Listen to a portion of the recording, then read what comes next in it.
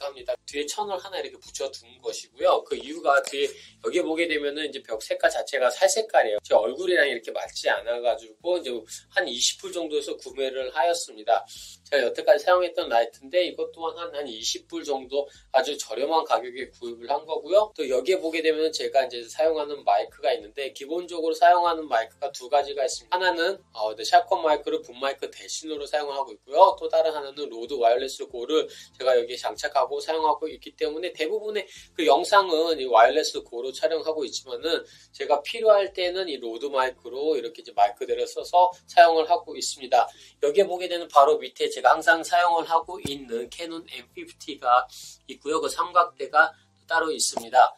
네, 뒤에 보게 되면은 지금 여기 제일 큰 조명이 하나 보일 텐데요. 이거는 Godox SL 60W 가격은 한 100, 한 30불 정도 하고 한 120cm 정도인 softbox로 제가 지금 사용을 하고 있습니다. 이 조명을 제가 영상 속에서 많이 이제 강조를 한 부분인데요.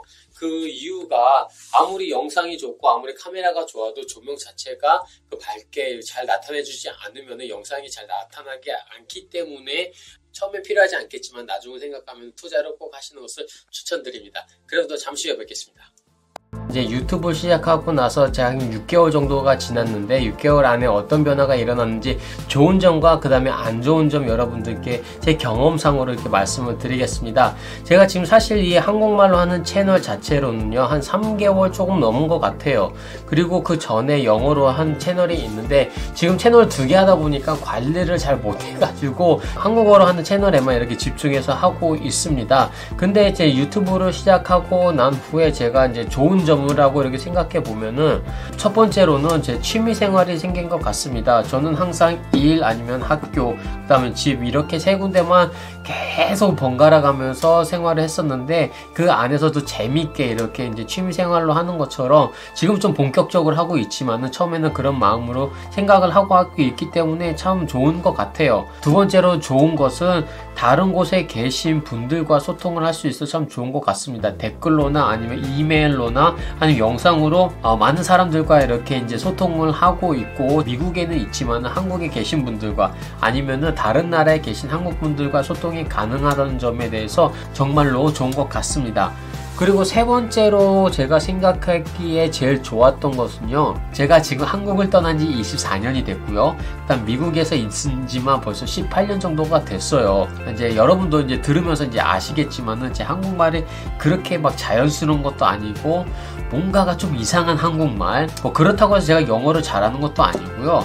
그러니까 영어도 안 되고 이렇게 한국말도 안 되고 이거 이것도 아니고 저것도 아닌 이 상황 속에서 제가 한국말로 뭔가를 하고 있다. 그 한국말을 계속해서 이제 공부하면서 연습을 하면서 여러분들께 영상을 통해서 말씀을 드리고 있지만은 이게 정말로 저한테는 이게 쉬운 일은 아니었거든요. 그런데 이제 그 속에서 내가 조금이나마 더 연습을 하고 조금이나마 뭔가를 해야 되겠다라는 그런 마음가짐 그만큼 제가 미국 사회 속에서 한국말을 더 사용할 수 있다라는 그 점에서 더욱더 좋았던 것 같습니다. 그러면 안 좋았던 점이 무엇이냐 생각을 해 봤을 때 이게 유튜브를 본격적으로 시작을 함으로써 이제 여러 가지 알고 여러 가지 이제 배우고 또 연구를 하면서 거기에 대한 시간 투자량이 점점점 많아졌던 것 같습니다. 그 많아지고 나니까 이제 콘텐츠 어떤 콘텐츠를 계획해야 되고 어떻게 짜야 되고 또 거기에 대한 정보를 또 수집을 해야 하며 연구를 해야 되고 또 testing을 해야 되고 여러 가지가 그 안에 있거든요. time management를 잘 하지 못하면은 나중에 이게 엄청나게 스트레스로 다가오기 때문에 그거를 만약에 잘못했을 때 잘하시는 분들은 그건 뭐 뭐 별 문제가 없겠지만은 밀렸을 때 같은 경우에 스트레스가 정말 많이 받는 것 같아요. 그래도 왜 계속 유튜브를 하느냐? 근데 좋은 점이 안 좋은 점보다 더 많기 때문에 유튜브를 계속 하고 있는 것 같습니다.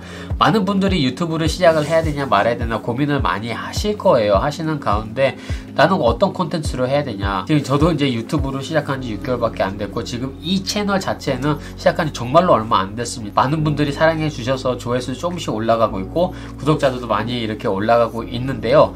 좀 체계적으로 유튜브를 하려고 생각하신 분들 아니면 그렇게 타임 매니지가 가능하다라고 생각하신 분들은 적극적으로 하는 걸 추천을 드립니다. 물론 이제 유튜브를 시작을 하기 전에 준비 단계가 분명히 있습니다. 그 준비 단계 속에서 이제 계획을 하시면 되는데 이제 저 같은 경우는 지금 한국말로 뭔가를 하고 싶었기 때문에 특별히 이제 한국말로 하고요. 그 다음에 다음 세 번째 채널 준비 과정에서는 이제 국제화를 본격적으로 준비를 하고 있는데요. 저는 그래서 유튜브를 시작을 해서 후회는 안 합니다. 계속해서 유튜브를 한번 해보고 싶어요. 뭐 이런 거 다 준비해놨잖아요. 2주일, 3주일, 뭐 한 달 해서 구독자가 안 오른다고 너무 낙심하지 마시고요.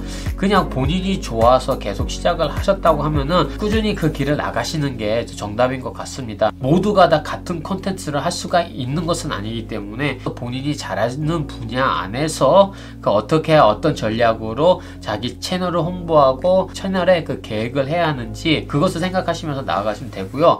댓글로 여러분들 초보 유튜버로서 제일 궁금하신 것들이나 아니면 여러분들 특별히 지금 하고 계시는 그 전략 어떤 것이 있는지 또 코멘트로 남겨주시면 또 다른 분들과 소통하면서 지낼 수 있을 것 같습니다. 오늘 영상 영상에서는 뭐 제가 생각하는 어, 좋았던 점 아니 나쁜 점 그 다음에 어떻게 유튜브에 대해 생각을 하고 있는지 짧게 이야기를 했는데요. 제 미유튜브를 지금부터 잘 부탁을 드리고요. 그 다음에 아직 구독을 안 하셨다면 구독과 좋아요 또 알림 설정을 하시면은 유튜브 팁과 또 유튜브에 대한 그 장비 또 여러 가지 여러분들 영상을 보실 수가 있습니다. 그러면은 또 다음 시간에 또 다른 영상으로 찾아뵙겠습니다. 부활점! 아 이런 건 하면 안 되겠어.